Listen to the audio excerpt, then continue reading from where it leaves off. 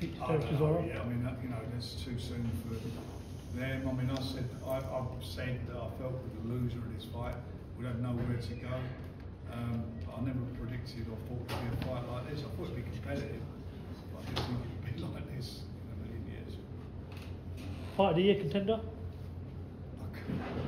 Well, I mean, the whole card was a, every, every every fight on the, on the card was a contender for fight of the year, but that was just something. I mean, think of a you know in recent. I mean, you know, Tyson and Usyk, the class that they are, you know, both winning this, in that unification match. That was a tremendous, tremendous heavyweight fight. Um, and this, this at the level it's at was also doubt. I, I know he's not always been the easiest person to deal with, Derek. Um, but when he uses a moment like that, and it still comes to mind to thank you for your part and to remember Dean Powell.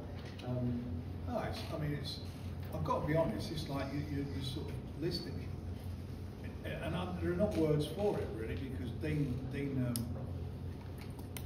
works for me for many, many years. And I mean, anybody, maybe some of you younger guys might know he was, but he was our matchmaker.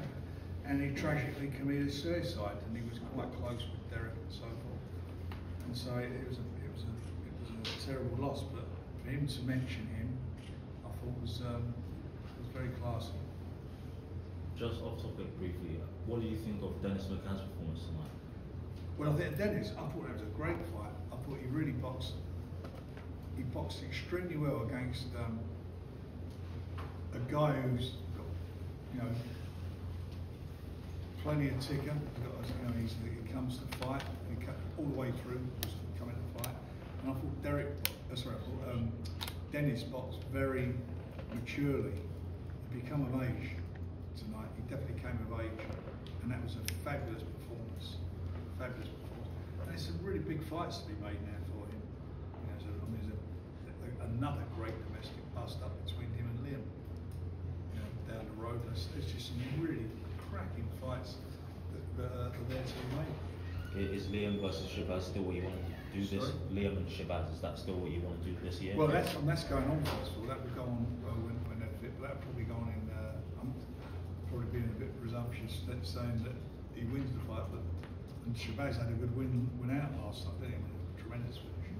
But it's just boxing's so lively. I mean, it's just unbelievable. The fights are out there, the excitement.